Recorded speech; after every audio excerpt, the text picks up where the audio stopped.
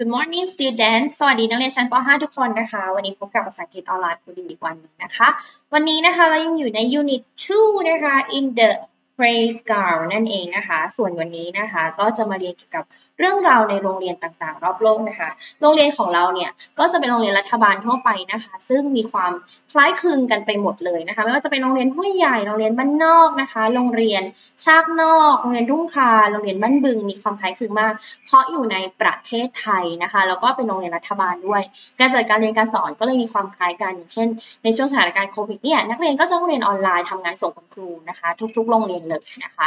แต่ตอนนี้วันนี้ที่เราจะมาเรียนนะคะ เราจะเรียนเกี่ยวกับโรงเรียนที่อยู่ต่างประเทศ ที่มีความแตกต่างกับบ้านเรา จะมาดูกันว่าเขาแตกต่างอย่างไรนะคะ วันนี้เราจะมาจั่วหัวข้อกันคือ where are these schools where are these schools หมายความว่าโรงเรียนเหล่านี้อยู่ที่ไหนนะคะ โรงเรียนเหล่านี้มีอยู่ด้วยหรอ มีอยู่ที่ไหนนั่นเองนะคะ โอเค ready to listen พร้อมฟังหรือยัง ถ้าพร้อมฟังแล้วเดี๋ยว ฟังพร้อมกัน แล้วเราก็จะมาแปลพร้อมๆกันนะคะ โอเค คราวนี้เราจะฟังของภาพที่หนึ่งก่อนเลยนะคะ number one Pupils Book, Unit 2, page 31. 17. Read and listen. Then match.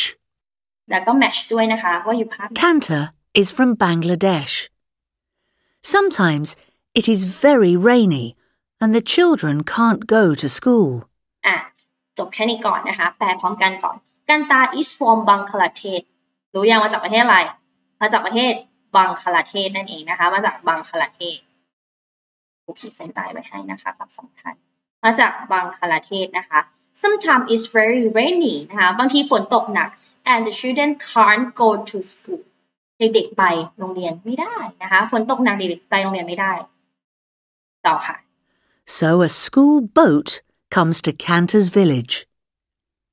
The boat has a classroom and a small library with computers. เพราะอะไรคะ หนูมาฟัง Amazing มาก so a school boat เป็นโรงเรียนที่อยู่ในเรือค่ะ เขาสร้างโรงเรียน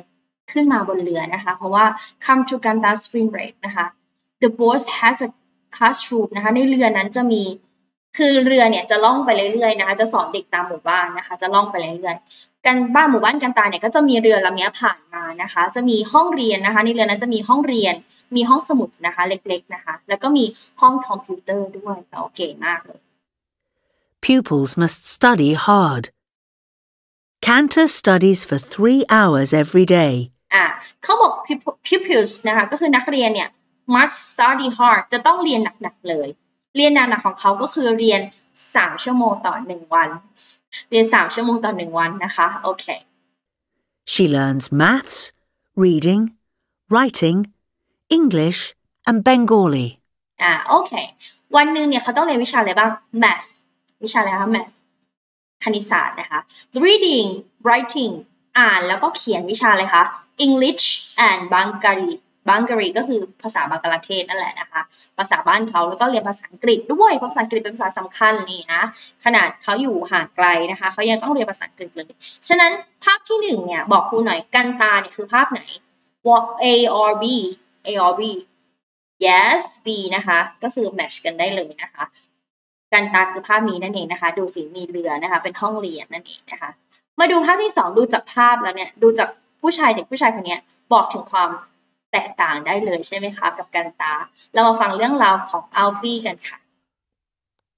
Alfie is from the United Kingdom. He loves reading, and he often goes to the library at his school. อะ Alfie's from United Kingdom ประเทศอะไรคะ United Kingdom อังกฤษใช่ไหมคะ สหราชอาณาจักรใช่ไหมคะ อังกฤษนั่นเอง He loves reading นะคะเขาชอบอ่านหนังสือ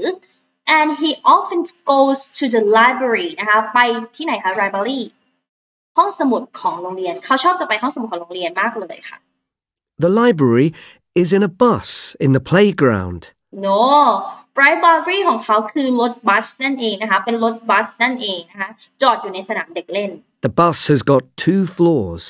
and there are lots of books. อ่ารถบัสนี้นะคะมี 2 ชั้นด้วย แล้วก็มีหนังสือเยอะมากเลย two floors นะคะ2ชั้น แล้วก็มีหนังสือเยอะมากๆ Pupils can also go to the library before and after school with their parents อ่าเขาบอกว่าห้องสมุดเนี้ยเปิดให้นักเรียนเข้าก่อนเข้าเรียนและหลังเข้าเรียน อย่างเช่นเราเข้าเรียน8ปดโมงครึ่งนะคะช่วงเวลา7จ็ดโมงถึง8ปดโมงครึ่งเราสามารถเข้าห้องสมุดได้นะคะ แล้วก็หลังเลิกเรียนหลังบ่ายสามโมงครึ่งเราเข้าห้องสมุดได้ ไปกับผู้ปกครองก็ได้นะคะ หรือไปเองก็ได้นะคะ นี่คือ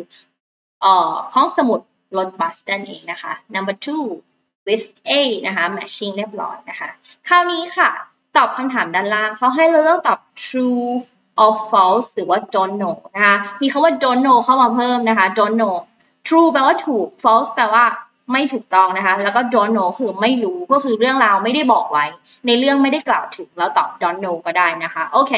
number one กันตา goes to the school on the boat กันตาไปโรงเรียนที่อยู่บนเรือ true or false true ถ้าหนู true หนูกด tree อย่างเดียวก็ได้ โอเคนะคะ สัญลักษณ์ของเราคือ t ก็ได้นะคะ Alfie studied three hour a day Alfie เรียนสามชั่วโมงต่อสัปดาห์ True or false don't know Alfie ได้บอกไหมคะว่าเรียนกี่กี่ชั่วโมงต่อสัปดาห์ ไม่ได้บอกฉะนั้นเราตอบว่า don't know ได้ค่ะ don't know dn don't know นะคะ dn don't know ได้นะคะ number three there isn't a library in Kanta school board ในเรือของกันตานี่ไม่มีไลบรารีจริงไหมมาดูค่ะ มีนะคะ มีไลบรารีนะคะข้อนี้ตอบ false นะคะ false ข้อสามตอบ false นี้นะคะ four five six ลองอ่านและตอบว่า true false or don't know นะคะ ใช้ตัวย่อก็ได้ true ใช้ t นะคะ false ใช้ f และ don't know ใช้ dn นั่นเองนะคะ dn don't know นะคะ เลือกเติมได้เลยนะคะ เมื่ออ่านข้อความเสร็จแล้วทำข้างล่างเสร็จแล้ว go to activity book นะคะ ไปที่ activity book เลยนะคะ page 24 yeah page 24 นั่นเองนะคะ มาที่หน้า 24 นะคะ หน้า 24 เป็นอะไรที่ง่ายมากแล้วจะทบทวนความจำของเรานะคะ เป็น skill reading ให้เราฝึกอ่านนั่นเองนะคะ ให้เราฝึกอ่าน อ่านแล้ว เขาให้เราใช้ คำศัพท์ที่ว่า must and mustn't จำ must และ mustn't ได้ไหม must แปลว่า ต้องทำใช่ไหมคะ ต้องทำ mustn't แปลว่า ไม่ต้องทำหรือไม่ควรทำนั่นเองนะคะ ที่เราเรียนกฎของห้องเรียนไปจำได้คะ must and mustn't นี่ก็เช่นกันนะคะ ให้เราอ่านข้อความที่เขาให้มานะคะ แล้วก็ตอบ must or mustn't อันนี้เป็นการคุยกันทางอีเมลนะคะ Jill can help นะคะ โดย dear Jill อันนี้เราก็ส่งข้อความหา Jill คนที่ส่งหาคือมารีนาส่งข้อความหา Jill ส่งว่า dear Jill Jill จ๋าถึงจิวจ๋าอะไรอย่างนี้นะจ๊ะ I want to be a, an actor ฉันต้องการเป็นนักแสดง I go to acting school at the new school my teacher say I'm quiet อยากเป็นนักแสดงไปเรียนโรงเรียนการแสดง แต่ teacher บอกว่าเป็นคนเงียบมากเลย เธอเป็นคนเงียบมากเลยนะมาริน่า She say I must talk more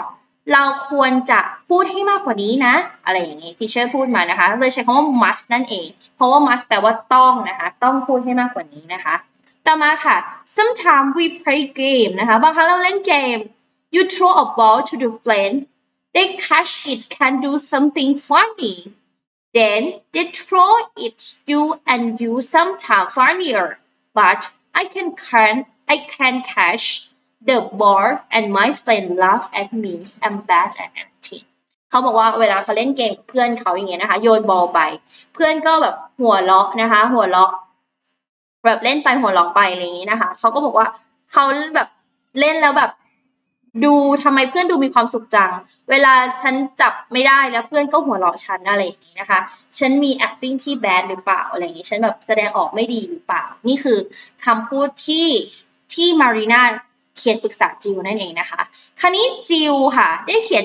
ตอบกลับมาถึงมารีนานะคะ นี่แหละค่ะสิ่งที่พวกหนูต้องทำลงไปนะคะว่า